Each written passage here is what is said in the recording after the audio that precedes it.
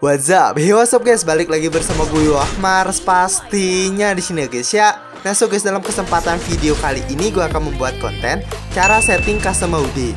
Untuk di sini gue akan men-setting uh, 3 custom ya guys ya. Untuk player 2 jari, 3 jari dan 4 jari guys. Karena ini lumayan banyak yang request dan mohon maaf banget ini agak lambat upload videonya. Ya sebelum masuk ke inti videonya jangan lupa like video ini Tembusilah 1000 like sampai 5000 like guys Supaya gue tuh lebih semangat buat konten ke depannya Dan jangan lupa juga komen di kolom komentar Di next konten kita bikin konten apa enaknya. Bisa langsung kalian komen di kolom komentar Nanti gue respon. Ya tanpa basa-basi langsung ya kita masuk ke inti videonya. Pun strategi let's go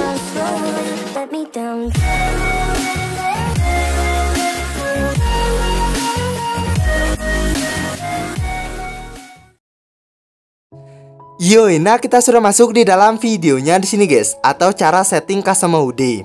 Untuk di sini bisa langsung uh, kalian masuk di custom mode terlebih dahulu. Untuk di sini gue akan men-setting cara setting custom mode untuk player dua jari di sini guys, karena ini lumayan banyak juga yang request.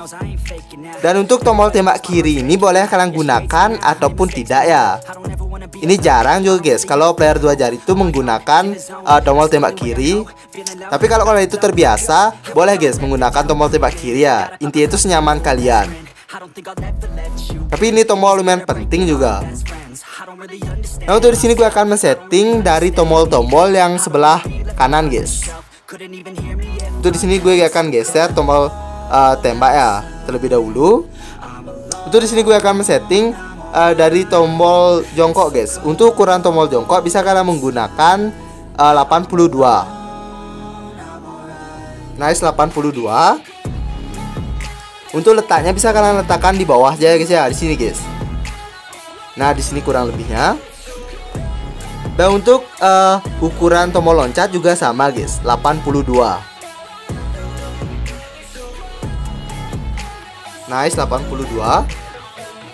Untuk letaknya bisa kalian letakkan uh, di atas tombol jongkok. Di sinilah kur kurang lebih ya guys.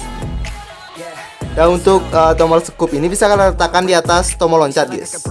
Untuk ukuran itu terserah kalian. Inti itu senyaman kalian.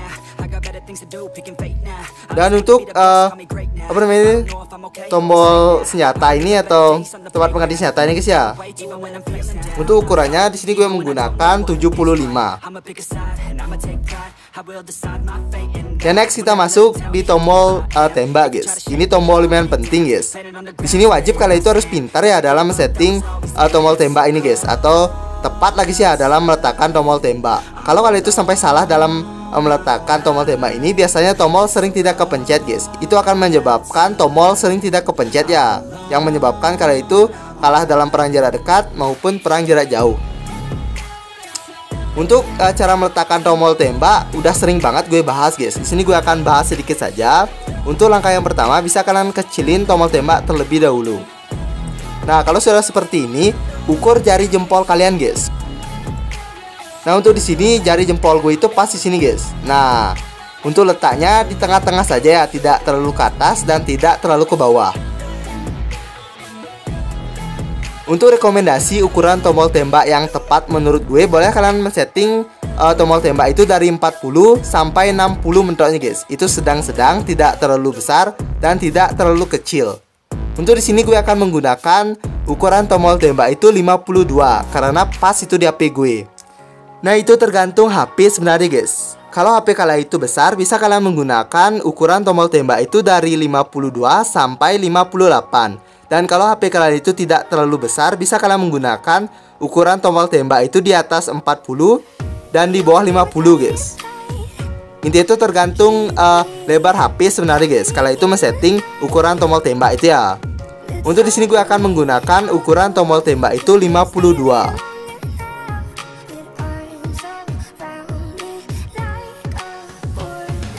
Nice 52 guys. Ya next kita masuk uh, di tombol-tombol yang di sebelah kiri guys Untuk nama-nama teman ini bisa kalian letakkan di atas saja Di sini lah guys kurang lebihnya Untuk tombol-tombol yang di sebelah kiri Di sini gue akan bahas dari tombol lari guys. Untuk tombol lari ini bisa kalian 100 guys, tapi transparannya guys ya, agar tidak mengganggu layar. Intinya itu kalian men-setting uh, custom mode itu senyaman kalian guys. Kalau kalian itu sudah nyaman dalam um, men-setting custom mode, pasti kalian itu akan lebih mudah guys dalam bermain maupun kalian itu akan lebih mudah dalam berhadapan dengan musuh. Untuk letak tombol lari bisa kalian letakkan di sini guys. Dan untuk tombol quick switch ini bisa kalian uh, letakkan di sini guys ya. Nah, di sebelah kanan tombol lari guys. Dan untuk tombol tembak kiri ini bisa kalian letakkan uh, di atas saja.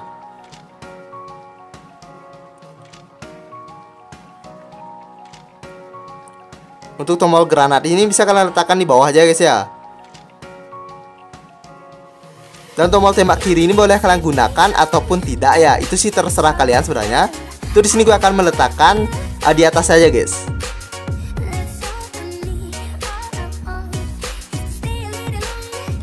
Nah untuk tampilan custom mode untuk player 2 jarinya itu kurang lebih begini guys Dan kalau kalian itu ingin global uh, terlihat lebih cepat Bisa kalian meletakkan uh, tombol globalnya itu di sini guys Nah di sini Dan untuk uh, tombol tembak kirinya bisa kalian letakkan di sini?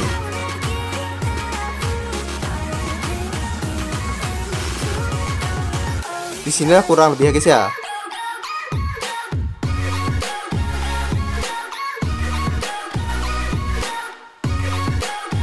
Nah seperti ini guys. Boleh kalian menggunakan uh, tombol quick weapon switch ataupun tidak ya. Karena jarang guys player dua jari itu menggunakan uh, tombol tembak kiri ataupun tombol quick weapon switch tapi ada ya untuk tombol quick weapon switch ini bebas guys boleh kalian letakkan di atas ataupun di sini ya.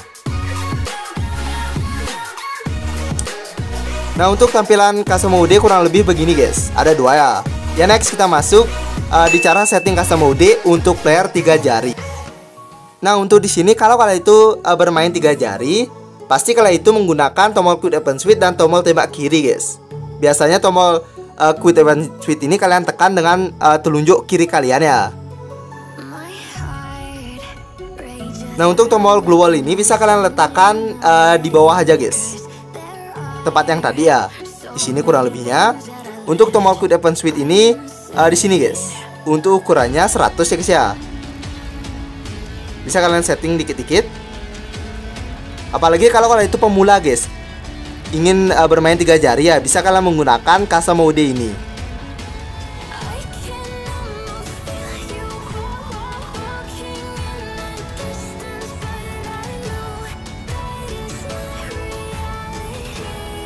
Nah seperti inilah guys kurang lebih untuk tampilan custom mode tiga jari.